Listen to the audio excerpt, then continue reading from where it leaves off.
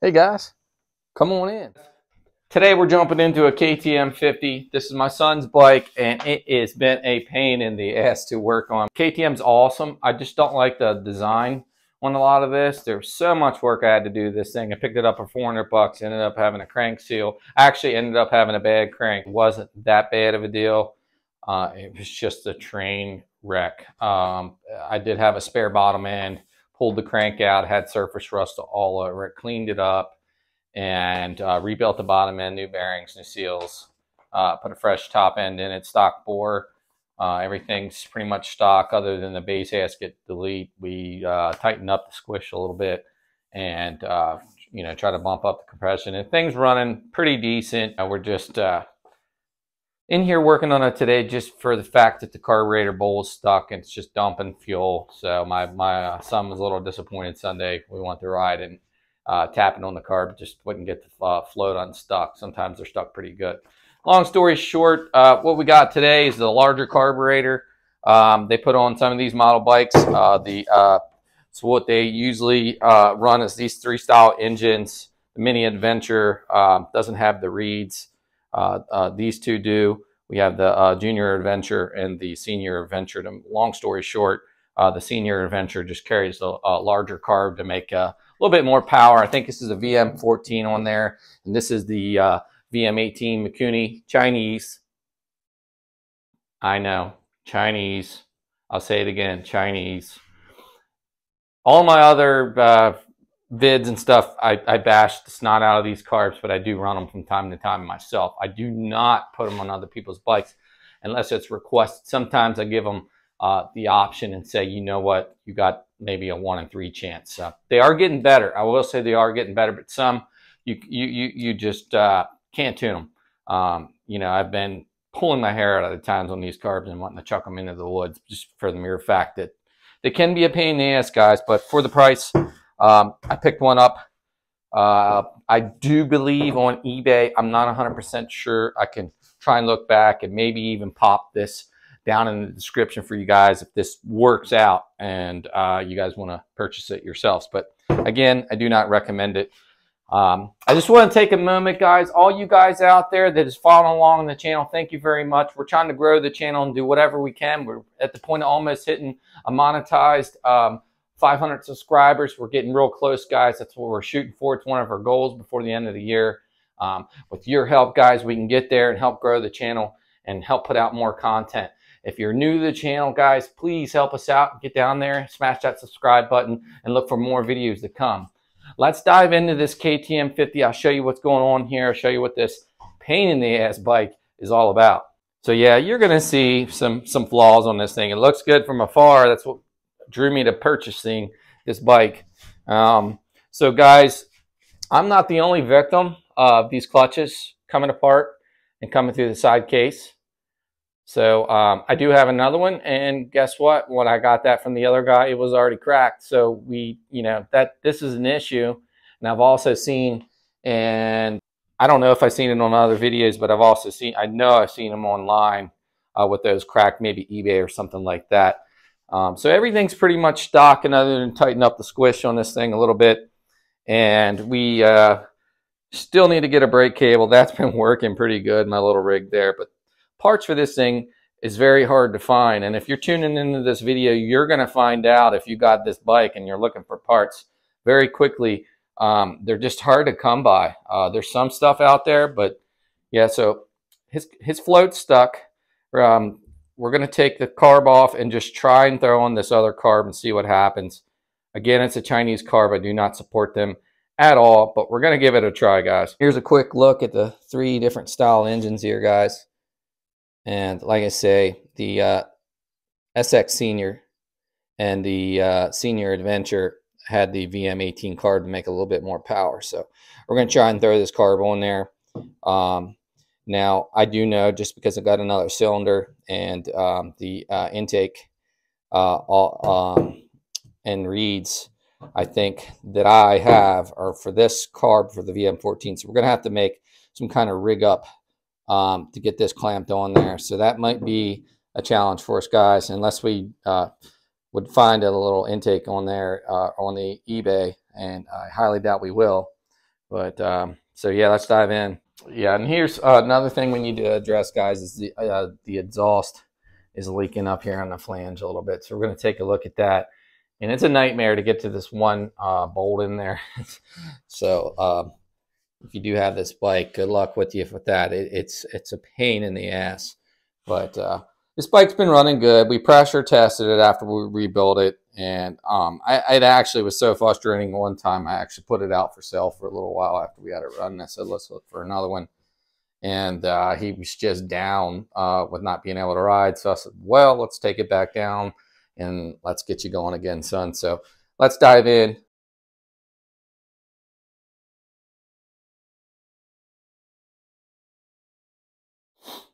All right, check this out, guys. That's my custom intake there to the air filter. Um, yep, that's what you do when you can't find parts. I actually like I actually think this was better than uh, how it was uh, with the OEM piece there. Just had to show you guys that. All right, guys, 100% botchy work here, but I had to put a uh, about a millimeter layer of electrical tape and then trim it off with my razor blade. And this is the old one off the VM14. So we're gonna see if this seals up okay. Uh, get it running, just a little spray of uh, carb clean, brake clean, uh, see if it stutters at all. Will tell us if we have any air leaks. So it'll be real easy to see if it seals or not. That's one thing we'll definitely check. And then um, the, the intake air filter side uh, is going to be a little bit of a challenge. We'll see what happens there. We'll get this thing on um, and just see if we get it running first. And then it's it's just a, this whole design on the carb on the, on the uh, this side of the carb is just I don't like it. Um, but uh, and also the how they did the filter like you know normal uh, bikes have an air box that kind of comes in there. And how this it's just i don't know. I, I just don't like the design of these bikes. Um, ktm's awesome. Love them but 2001 do not favor this bike whatsoever and enough ranting let's try and get this carb on here and see what happens it's on there This piece of shit. Seriously, dude, this thing is just pain in the ass to work on.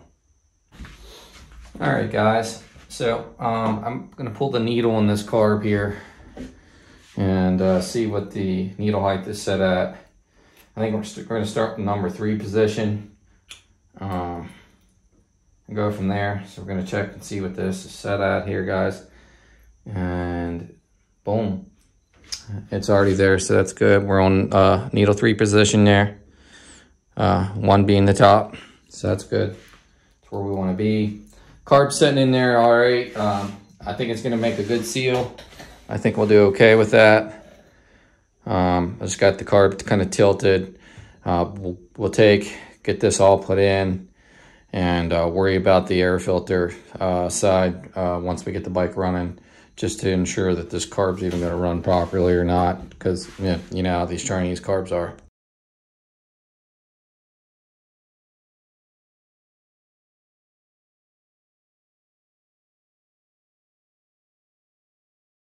Alright guys, so other than tightening this up here, we're going to try and fire this thing very, very soon.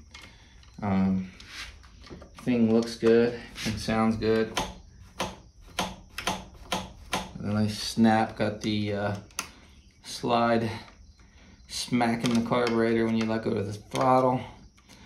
Um, what you want to hear. And I kind of jumped ahead of my guy, uh, self guys on this too. We're going to see what happens now that we got it on there. I did not even check uh, what size jet was in this thing because I'm sure this carb could be used on several different engines. But you know what? We're going to send it, just see what happens. Um, if it's lean, I don't know. But uh, we're about ready to give this thing a try and uh, see what happens here, guys. Guys, I'm going to be straight up honest right now.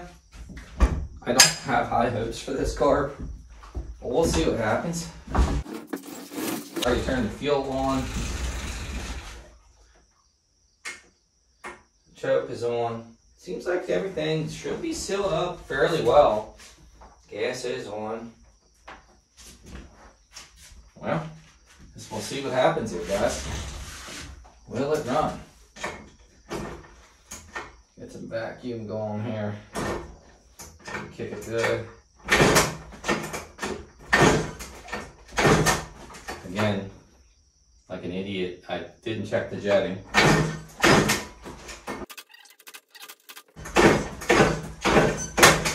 A few moments later. Alright guys, so not getting any kind of pop on this thing yet on this carb does not surprise me. does not surprise me. I promise I put two stroke mixed gas in this thing to try to get it to pop off. We shot some go-go juice in the intake Promise I used two stroke gas. No, I didn't. A little bit of carb cleaner in one shot won't hurt it, guys. Um, but if you keep spraying it in there, you probably wreck your cylinder. So, not a good idea. Oh, oh, oh. might be just the jetting, guys.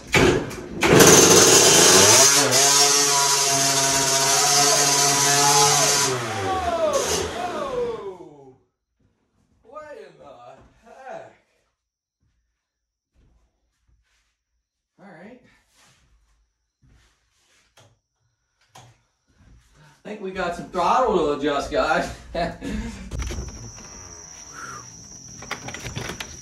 on two stroke smoke.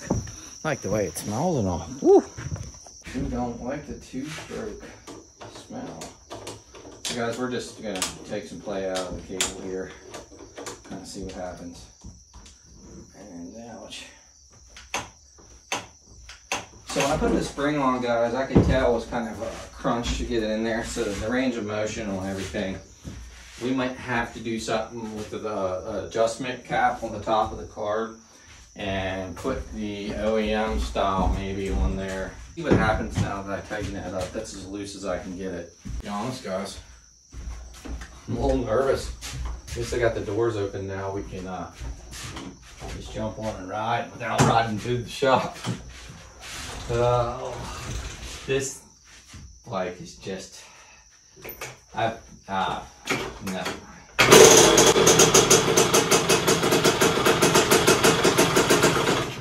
All right, it's a lot better, huh, guys? Now, um, we got a good slap there. I think we need to adjust slide height here a little bit.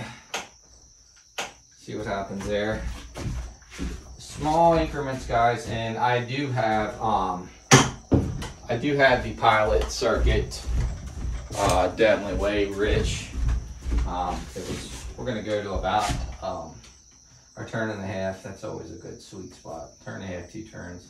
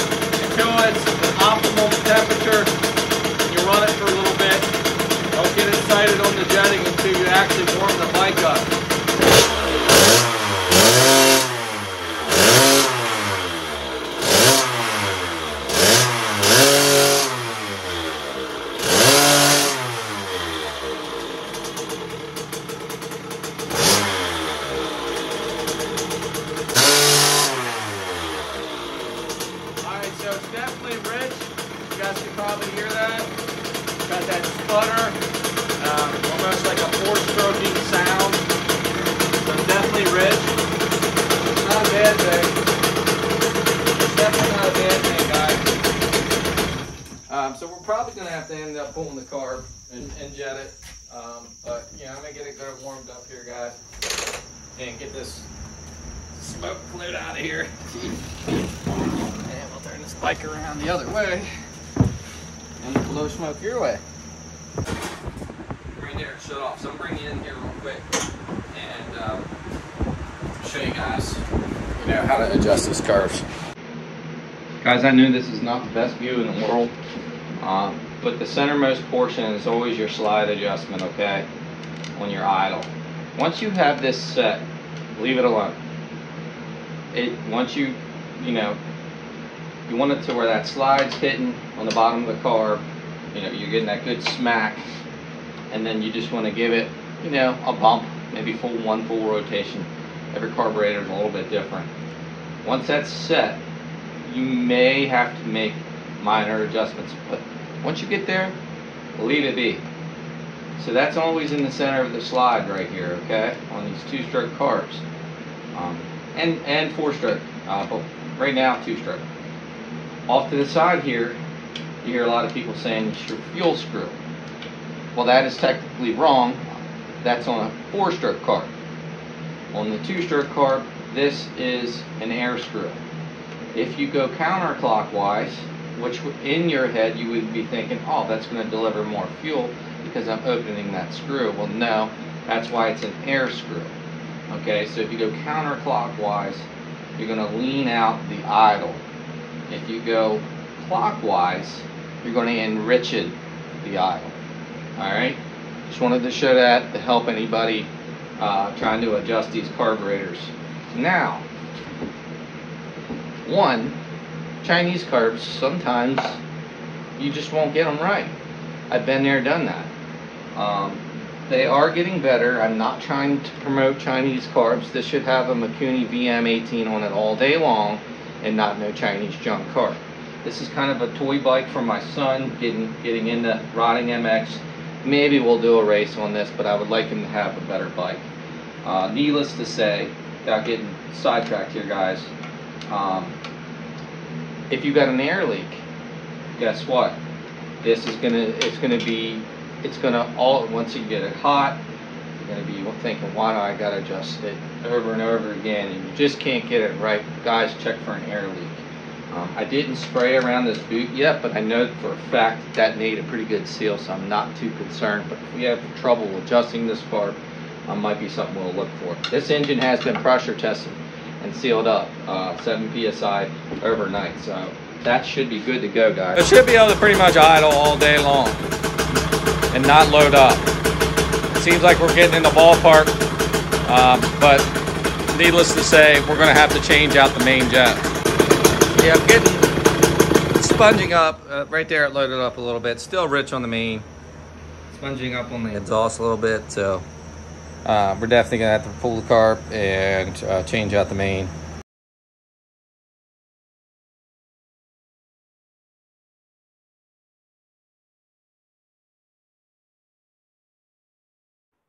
All right, guys. So as expected, I don't think they gave us a jetting size on this thing. You know how it is in the factories over there. Quality control, instructions, you name it. Uh, never help you out. It's just more work for them, guys, right? So there is definitely not a single number anywhere on this thing. I'm looking very, very closely, guys, because sometimes they do have them really, really small. So if I even get a 70, I can compare them. And guys, if you're new into jetting, I highly recommend these have seen their better days, but uh, getting machinist bits. And it's a good way, um, if you're buying aftermarket jets, to gauge um, the size of your jets if you're you know, uh, unsure. You know, the I, I, would have to say my last few purchases of Mikuni jets have been aftermarket Chinese jets. And they've been doing have been doing these are pilot jets here. I think oh that main jet, and they've been doing really well, guys. So let me dig in here and see if I even have anything that small.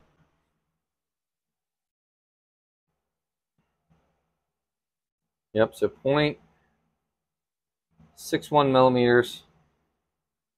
Oh, that metal in there. And this drill bit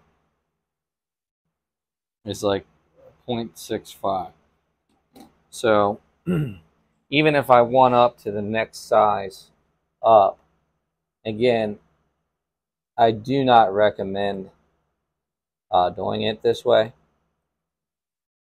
But just to get my butt, little buddy's bike running, and not, I'm going to order these size jets because the smallest I went down to was a 70. Uh, we need to go a little smaller to get this thing dialed in. So this here, yep, that seems about like the size right there. It fits in that hole very, very snug on the back end of that drill bit. So if anything, we can solder and put it back. We're going to say this bit is stock, okay, and we're going to knock it down to this size. And if guys, if it if it goes too far, uh, we'll, we'll know when we run the bike. We're not going to, you know, run it hard, but uh, until we know we got it pretty close. But so we're going to solder this and then drill it with this drill bit. Again, guys, I apologize for the background noise. We soldered this up. It actually turned out pretty daggone good. I mean, doesn't look the best on camera. Looks better here by the naked eye. And uh, actually did a pretty good job. And here was my stock 70 reference. And, you know, it, it doesn't fit now. So this is kind of like jumping the next size down. So we're to pop this baby back together and uh, see what she does. Let's see what happens. It's a lot of work, I know, but if you're in a jam, um, you can get yourself out of a jam. But you can also be doing a lot of extra work.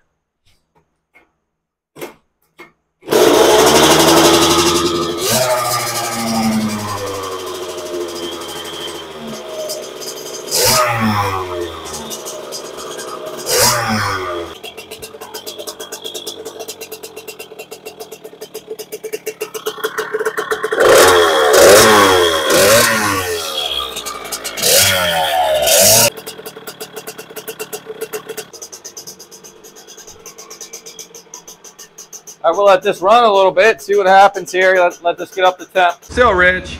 Uh, we're gonna change the mid, we're gonna change the needle height in here a little bit. Uh, we're on needle three. I'm gonna, I'm gonna jump right up to needle one and see what happens, guys. All right, guys, so I skipped a few of the clips, just trying to, I'm kind of running out of time here. And um, we started at needle three position. We went up to needle two. It got a little better but it was still kind of like a dog, would barely even spin the tire out, up, uh, uh, off, I should say. And uh, now we want to needle one position.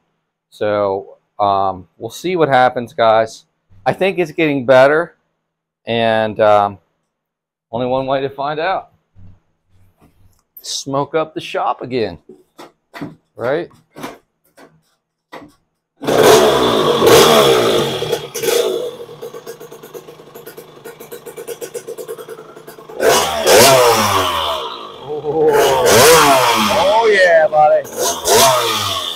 Yeah, man. It's not smoking near as bad.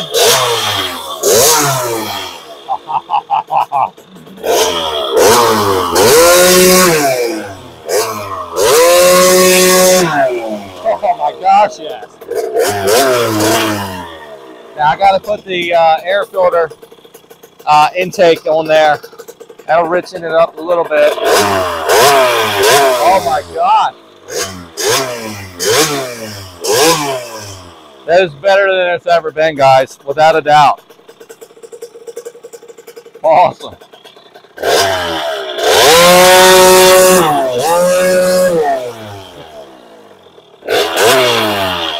Guys, this thing. Oh, my son will be happy now.